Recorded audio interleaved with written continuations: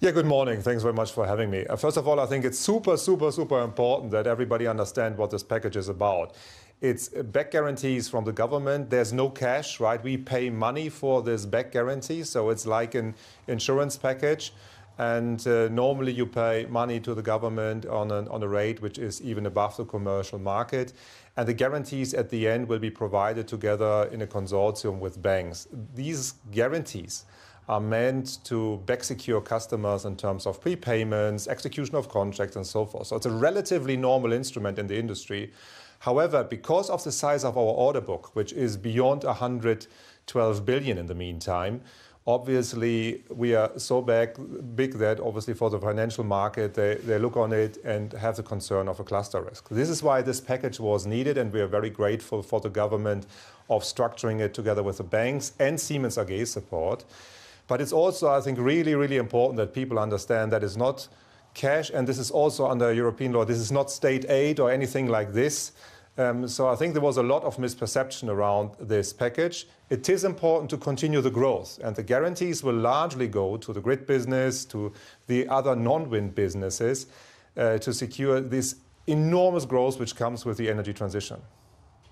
So you fleshed out what you see this is state aid or state, or you say state guarantees, I should say, and you characterize what it is at this point. Can I just get to what it means, though, for the overall business? Because there are a series of issues that have cropped up. It's not just been one issue. Quality control issues, of course, been cited, but the industry has had a, a funding issue when it comes to renewables. We know inflation has very much impacted the cost base, contracts that have been inked for the longer term. As we talk about the business now, where there have been issues around the wind division, not expected to break even until fiscal 2026. What sort of bridge are we talking about when it comes to the state support? No, uh, once again, I mean, first of all, you always have to see Siemens Energy has, let's say, multiple parts of business. 30% is wind, 70% is, is other technologies like grid, like gas, like hydrogen, and so forth, which are doing extraordinary good. Wind is painful in terms of turning it around. And as you said, there's a couple of elements. The one thing is quality issues in the onshore business, so wind turbines on land.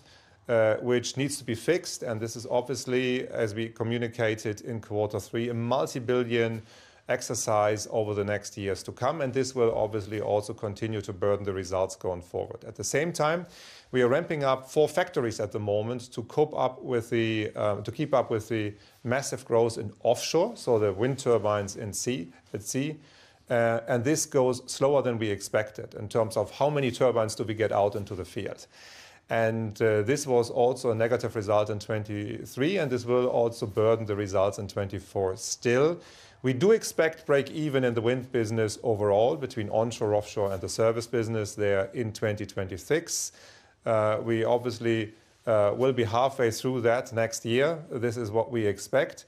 Um, but we also obviously then thereafter, once we have worked through the very painful backlog what we have, which have all these elements as you mentioned, inflation, too low cost considered uh, over the next two years, and this is why then for 26 we feel uh, well set up to really turn around the wind business.